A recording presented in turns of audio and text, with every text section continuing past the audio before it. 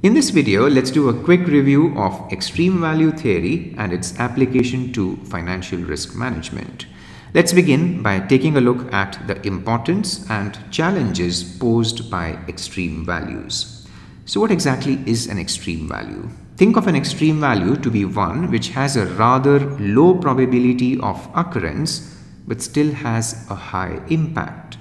If let's say I were to pick up a historical data set let it be let's say a data set containing historically observed daily losses then you will agree with me that the observations of extreme values would be rather few.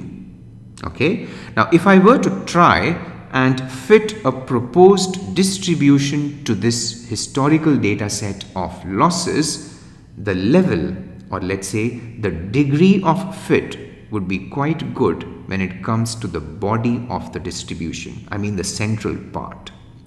The degree or the level of fit would be quite poor, I mean quite compromised when it comes to the tails, the left tail and the right tail.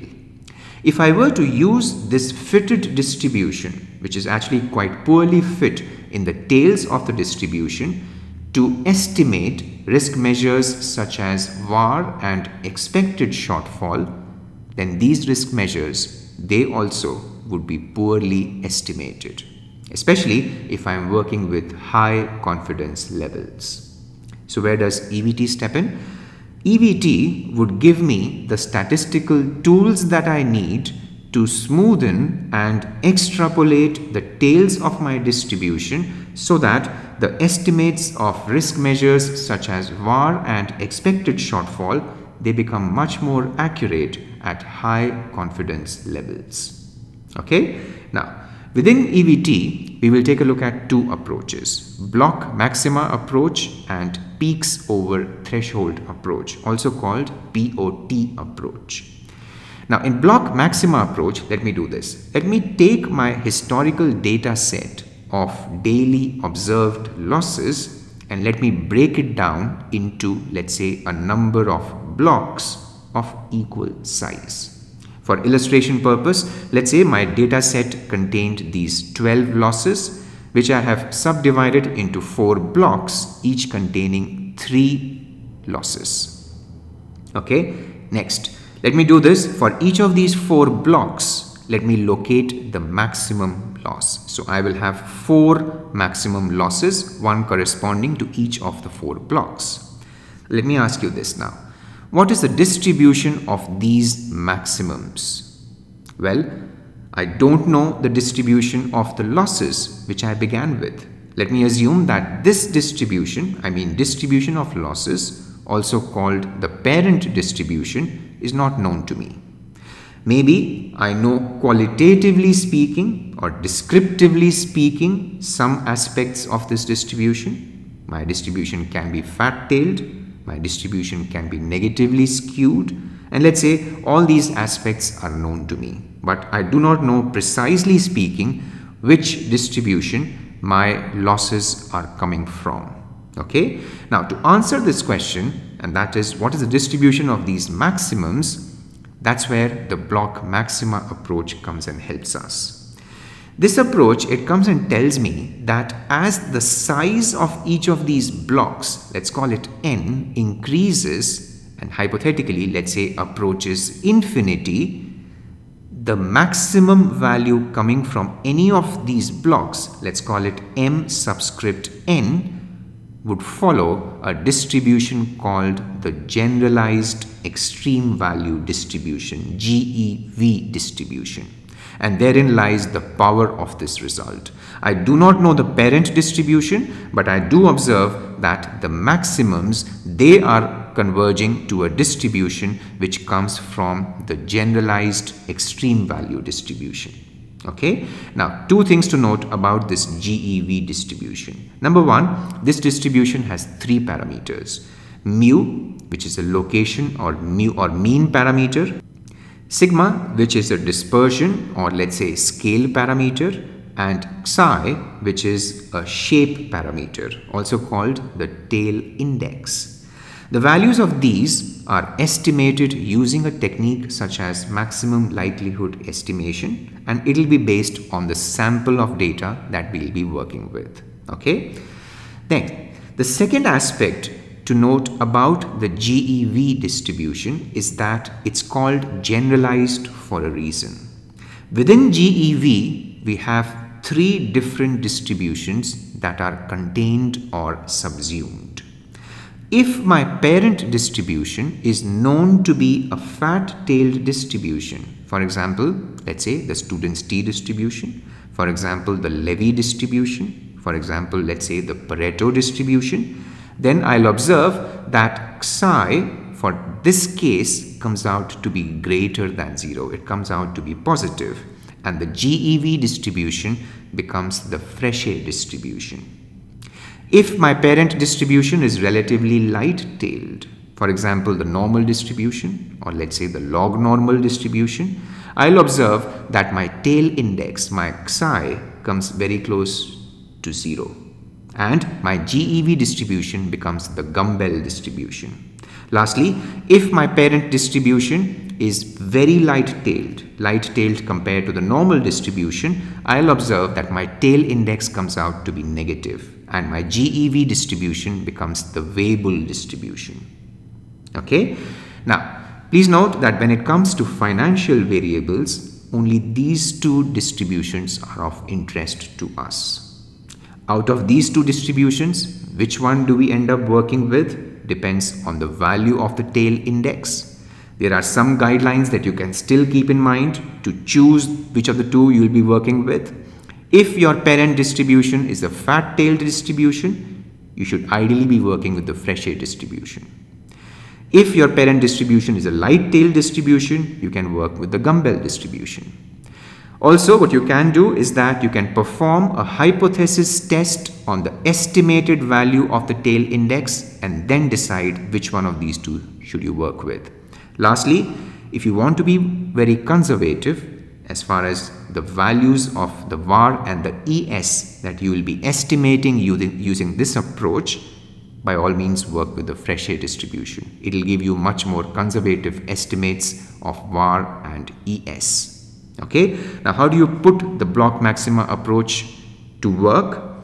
To calculate the var for let's say this historical data set of losses, if you are working with the data set directly, that means if you are working with the parent distribution directly, var would very simply have been equal to the quantile picked from the original data set corresponding to a probability level which is equal to the chosen level of confidence. Now that you have spent the effort to find the distribution of the block maximums, what you can do is that you can use the distribution of this guy to find your var. And it will be very simple.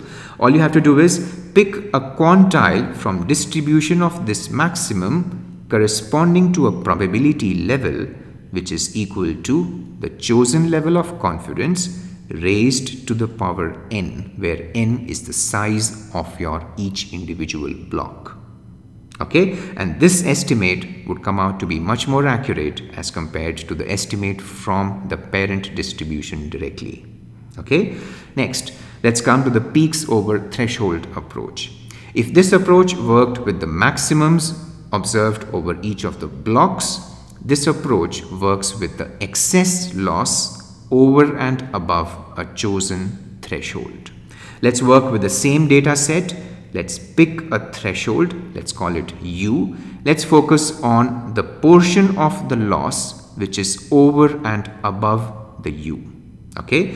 Let me define a cumulative distribution. Let's call it F sub U which essentially gives me the probability of the excess loss x minus u being less than or equal to a certain level lowercase x given that my loss is greater than u.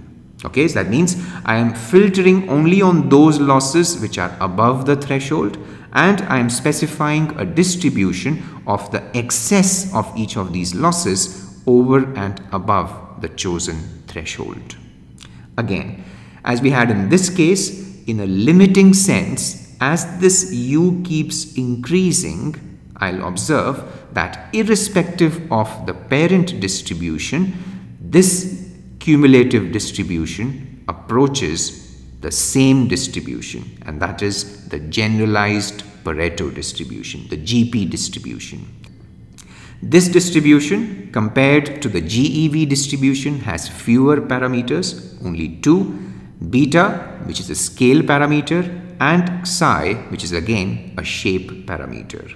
Again, these two parameters, they get estimated using a technique such as maximum likelihood estimation. Okay.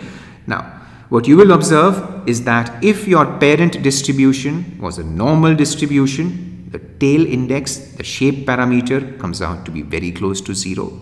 If your parent distribution was a fat-tailed distribution, this guy, the tail index comes out to be positive. And this is the situation where the tails of my distribution, they disappear rather slowly. Now, how do I compare these two approaches and eventually which one should I work with? The POT approach is quite popular because it makes much more efficient use of available data. So for example, this data point was not used in this approach because it was overshadowed by another data point in the same block. This data point is still an extreme loss. In the POT approach, we do include this data point because it is above our threshold. The second advantage of the POT approach is that it has one fewer parameter for us to estimate. But the tricky aspect is how do you fix the U, the threshold? I would want the U to be high enough for this result to hold. But if I pick U to be very high, my filtered losses which are over and above the threshold would be quite few and that will make my estimates quite inaccurate. Okay, so U involves a trade-off. So how do you use the POT approach? To calculate the VAR, this is the formula that this approach offers. To calculate the expected shortfall, this is my formula. These formulas are actually not very difficult to remember. For this formula, I can read it as U the threshold plus a certain multiple of the scale which is beta. What is this multiple?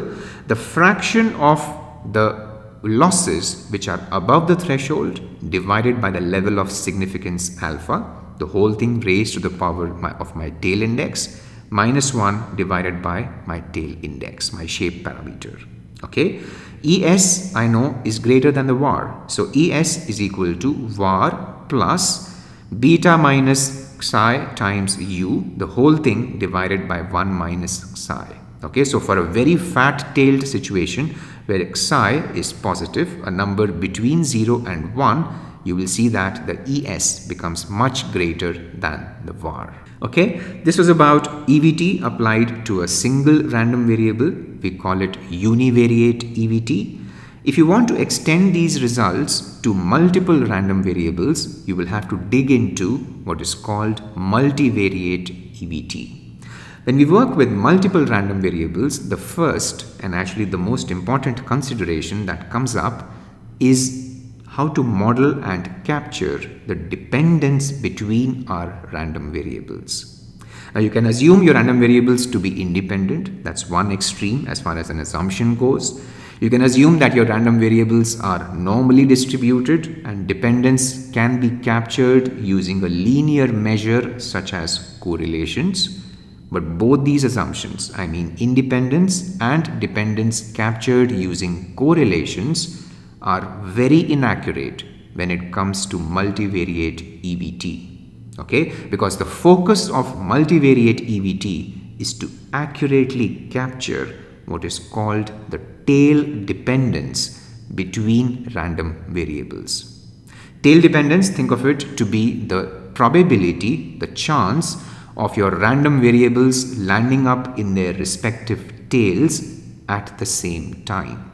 Okay, and multivariate EVT focuses on capturing this tail dependence.